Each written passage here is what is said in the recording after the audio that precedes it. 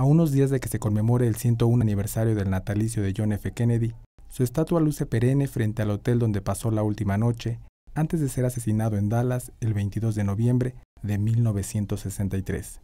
El expresidente Kennedy y su esposa Jacqueline durmieron en la suite marcada con el número 850 del entonces lujoso y monumental Hotel Texas, conocido como el Hotel Hilton.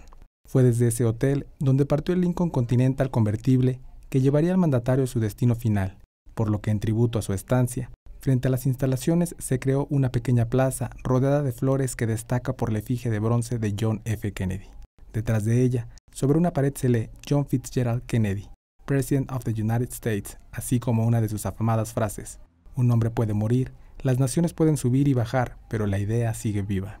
También se aprecian tres exhibiciones fotográficas, una al lado de su esposa Jacqueline, quien porta el atuendo rosa de Chanel, que alcanzó fama tras mancharse de sangre cuando balearon al entonces mandatario. En otra imagen, se observa a Kennedy saludando a miles de habitantes emocionados, y en una más, se le ve sonriente hablando frente al podio mientras atrás aplaude su séquito con información e imágenes de Claudia Pacheco, enviada Notimex.